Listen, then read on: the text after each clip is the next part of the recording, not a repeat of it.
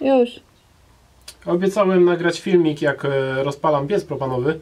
Sam z tym na początku miałem problemy, jaką ilość dać e, powietrza, jaką propanu, e, żeby to rozpalić, żeby ten płomień nie gasł albo nie był zbyt wychodzący poza piec.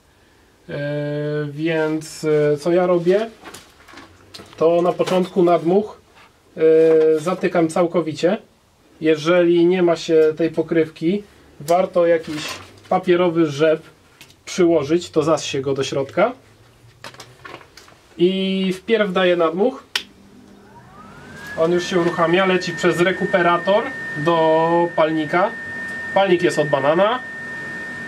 Ehm, teraz propan. Ehm, na początku, ja wiem, tak e, z pół bara ustawić sobie ciśnienie i wsadzić jakąś płonącą kartkę do środka albo blisko trzymać zapalniczkę. Ja mam tutaj palniczek. Moja zapalniczka. I teraz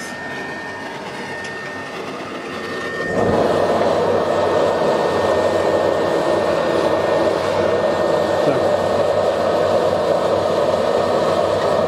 Teraz spójrzmy na e, tutaj reduktor. Ilość propanu. No mam tego malutko dosyć. Można na początku by trochę więcej dać. Jak już się rozkula piec, to, to można dać tego mniej zdecydowanie. Można poznać po tym, e, czy mamy za dużo propanu, jeżeli ogień wychodzi poza piec. E, Więc w tej chwili jest za dużo. Optymalna ilość będzie będzie, będzie z tyle na początku.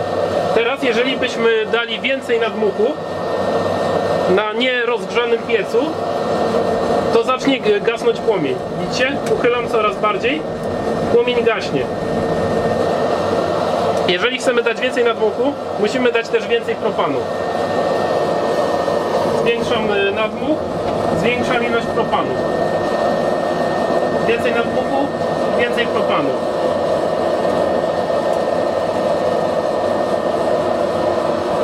Więcej nadmuchu, więcej propanu. Płomień w ten sposób mniej więcej powinien wyglądać. W pewnym momencie, jak już piec całkowicie się nagrzeje, spokojnie możemy otworzyć e, całkowicie e, nadmuch i zmniejszać ilość propanu.